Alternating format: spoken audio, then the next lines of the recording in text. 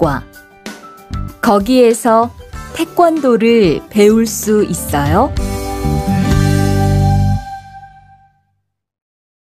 대화 1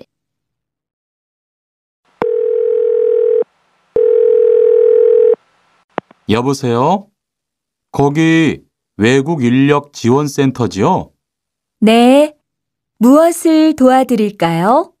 태권도를 배우고 싶은데 거기에서 태권도 수업을 들을 수 있어요? 네. 일요일에 태권도 수업이 있어요. 태권도를 전혀 할 수 없는데 괜찮을까요? 그럼요. 일요일에 센터에 오셔서 상담을 받아보세요.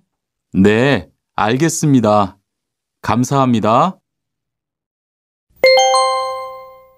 대화 2 저기요, 태권도 수업을 듣고 싶은데 태권도 수업을 신청하려면 어떻게 해야 돼요? 저희 센터는 처음이세요? 네, 처음이에요. 그러면 먼저 이용자 카드를 만들어 드릴게요. 그 후에 상담을 받고 태권도 교육을 신청하시면 돼요. 외국인 등록증을 가지고 오셨어요? 네, 여기 있어요. 30과 EPS 토픽 듣기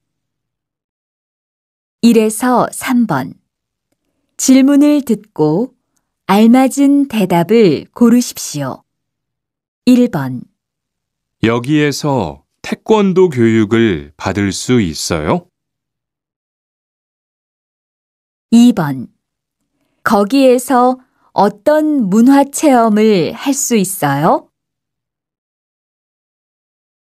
3번 무료 진료를 받으려면 어떻게 해야 돼요? 4에서 5번 하나의 이야기를 듣고 두 개의 질문에 대답하십시오. 어떻게 오셨어요? 한국어 교육을 신청하려고 하는데 어떻게 해야 돼요? 그럼 먼저 이 신청서를 쓰고 잠깐만 기다리세요.